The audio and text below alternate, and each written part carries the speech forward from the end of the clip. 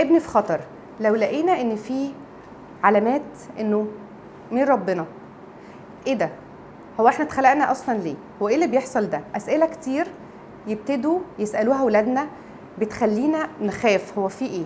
هو سمع الكلام ده منين؟ محتاجين ندعم ولادنا بحاجات كتير قوي.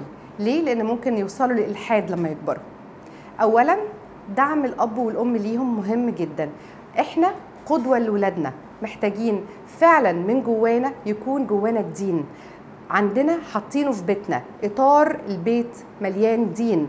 دين إسلامي دين مسيحي. محتاجين نعلم ولادنا الشعائر الدينية من وهم صغيرين. نصلي نروح الجامع مع بعض نروح الكنيسة مع بعض. نعلم ولادنا إيه هي المعتقدات الدينية. على كل مرحلة سنية. سهلة جدا على فكرة. تدخلوا ولادكم في أنشطة. إحنا بنعمل إيه؟ بنعزز عندهم البيز الأساس اللي بيبنوا عليه الدين.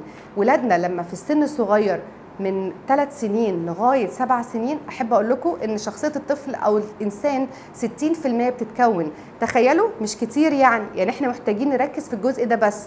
لو سيبنا ولادنا ممكن طيارات كتير تاخدهم. ممكن يسمعوا كتير من بره. يبتدوا مش فاهمين. ياخدوا أي طيار ويمشوا فيه.